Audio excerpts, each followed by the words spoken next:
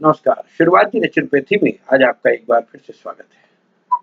देखिए हम जो ये ना, मैं आपको दिखाता हूँ। ये देखिए, ये जो आजकल हम इस्तेमाल करते हैं इसको ऐसे डालते हैं और ये हम लोग कानों में लगा लेते हैं। है ना? ये हमने कानों में लगा लिया। एक तो हम बहुत ऊँचा बोलते हैं। दूसरे को लगता है, पता नहीं क्यों समझ में आए ना आए।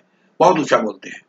और दूसरा सबसे बड़ी बात क्या है कि आपको शायद मालूम नहीं होगा कि ये जो है ना, इसके अंदर फंगस लग जाता है।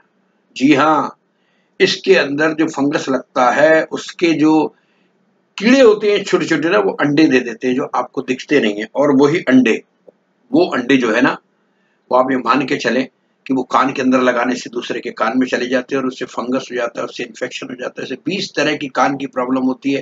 कान में घंटियाँ बजने लगती है, कान से सुनने में तकलीफ़ होती है।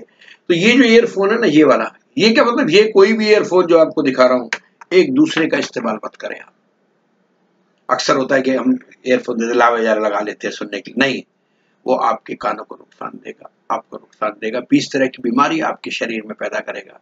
तो ये आपसे रिक्वेस्ट और दूसरा, इस कानों में ये जब आप सड़क पार करते हैं, ये पूरा लगा के आप चलते हैं, अक्सर चलते रहते हैं, अपनी धुन में चलते रहते हैं, सड़क पर मोबाइल लेके बात करते चले जाते हैं प्लीज़ अरे अपना नहीं, अगर आपको अपनी जान की परवाह नहीं है ना, कोई बात नहीं।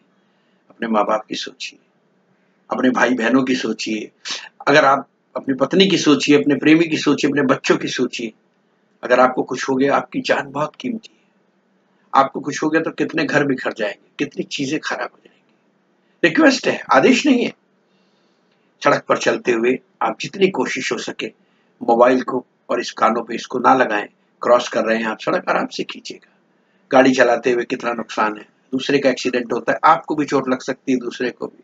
लोग मोटरसाइकिल पे अक्सर यहाँ कान में डाल लेते हैं, हेलमेट के अंदर चलते हैं। कितना नुकसान है आपको पता है? एक छोटा सा एक्सीडेंट अगर होता है तो उसमें आपकी जान चल सकती है, उसके साथ आपका परिवार बिखरता है। आप शादीशुदा हैं तो आपकी पत्नी आपके बच्चे बिखर जाते हैं। अगर आपके माँ बाप हैं तो आपके माँ बाप आपके बहन भाई सब। आपको ऐसा लग रहा होगा, मैं लेक्चर दे रहा हूँ, लेकिन लेक्चर नहीं दे रहा। मैं बहुत सही बात कह रहा हूँ आपसे। करिए आप अपनी मर्ज़ी की। हम इस चीज़ को मना नहीं करते। युग आपका है। दुनिया आपकी है। हम आपके साथ हैं। हम अपने यूथ की कदर करते हैं। हम अपने यूथ को सिर्फ़ समझा रहे हैं।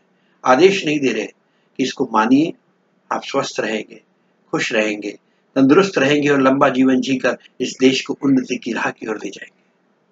बहुत बहुत शुक्रिया। अच्छा लगे तो प्लीज़ अप्लाई कीजिएगा और बुरा लगे तो माफ़ की दीजिएगा भाई। मेरा कहना तो फ़र्ज़ है, मैं कहता रहूँगा और क्या कह सकता हूँ। खुश रहिए, स्वस्थ रहिए, मस्त रहिए, हँसते रहिए और अपने अपने धर्म का पालन करते रहिएगा। हमारे साथ जुड़े रहने के लिए बहुत बहुत शुक्रिया। अपना प्यार यूँ बनाए रखिएगा। जी हाँ और हमें सब्सक्राइब करना मत भूलिएगा।